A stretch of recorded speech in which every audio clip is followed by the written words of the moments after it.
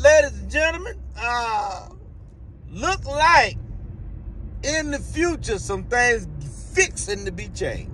Amazon has been doing some tests. They have been trying out a very humanoid type of robot named Digit to do all the work in the warehouse. Very humanoid robot.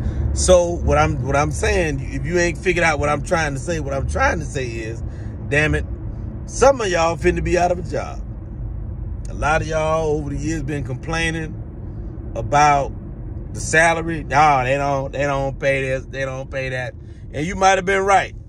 But instead of Amazon saying, hey, we're going to figure out how we can pay y'all some fair wages, do a little bit better by y'all, we're going to figure this thing out because we are part of the human race.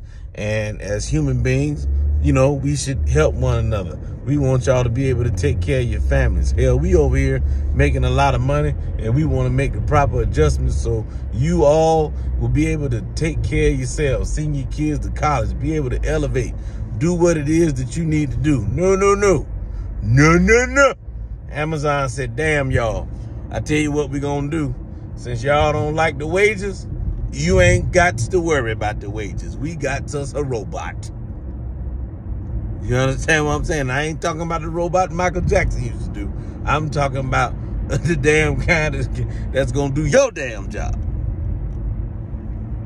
And don't worry, Everybody else gonna have about 20 years. Everybody gonna Amazon gonna have them. Walmart gonna have them. Uh, uh, McDonald's having Bojangles already got. I pull up at that damn Bojangles the other day.